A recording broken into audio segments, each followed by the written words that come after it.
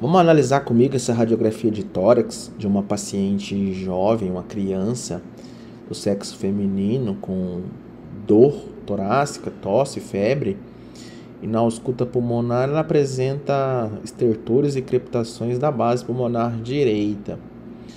Foi solicitada para essa paciente então um estudo radiográfico do tórax, das incidências póstero anterior e perfil e o objetivo dessa incidência frontal, uma incidência oposta anterior, é a gente aplicar na prática o que seria o sinal da silhueta. O sinal da silhueta é o resultado da perda do contorno das estruturas de mesma densidade. Então nós temos algumas estruturas densas, como por exemplo o volume cardíaco e o diafragma, e os pulmões radiotransparentes, enegrecidos, escurecidos. E aí nós temos o contorno de estruturas com densidades bem distintas. Aqui no caso, o ar delineando a base pulmonar esquerda e o diafragma, que é uma estrutura densa, radiopaca. Bom, quando nós temos uma infecção pulmonar, por exemplo, uma consolidação, nós temos o aumento da densidade dentro do parênquima pulmonar, e se essa densidade no parênquima pulmonar se encontra em contato com, por exemplo, a área cardíaca ou diafragma, nós temos o borramento ou a obliteração da silhueta. A esse sinal é caracterizado como sinal da silhueta.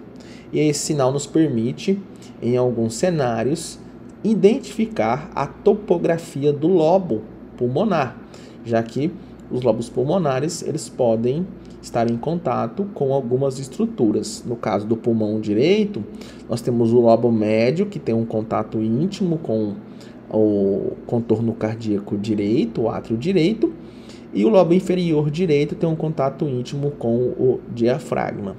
Já no pulmão esquerdo, o lobo superior tem um contato íntimo com o contorno cardíaco esquerdo, principalmente o segmento lingular, e o lobo inferior esquerdo apresenta um contato íntimo com o diafragma. Bom, aqui nós já observamos uma redução da transparência pulmonar à direita. Olha aqui, então nós observamos aqui contorno normal da base pulmonar esquerda e na base pulmonar direita nós temos a obliteração ou o borramento do hemidiafragma direito. Isso sugere que essa consolidação ela se encontra na topografia do lobo inferior direito porque ela borra o diafragma direito. Ela preserva o contorno cardíaco direito.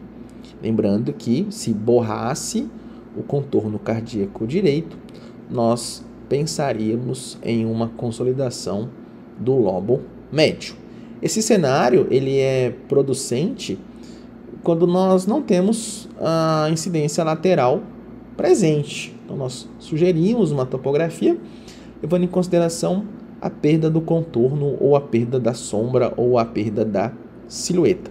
Entretanto, a nossa paciente ela apresenta sim uma radiografia lateral e aqui nos cabe apenas a transpor as informações. Então aqui nós observamos a fissura maior, fissura menor e aqui ó, o lobo médio. Então o lobo médio se encontra aqui, o lobo superior se encontra aqui, à direita, e aqui o lobo inferior direito.